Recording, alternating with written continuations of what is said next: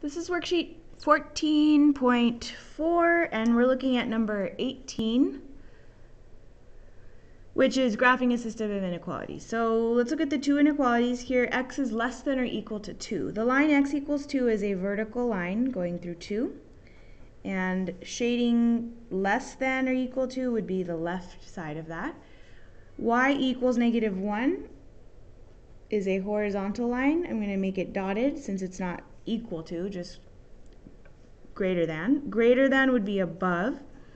So our final solution region would be this darkened area where the two overlap. And we need to answer this question, is 0, 0 a solution? The point 0, 0 is right here, which is in the shaded region, so that's going to be a yes.